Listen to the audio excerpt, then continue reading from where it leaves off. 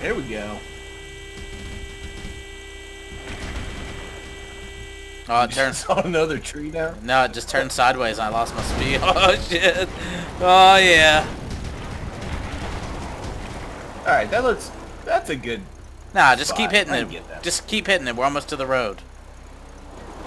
I can't leave the Cargobob behind or it'll respawn.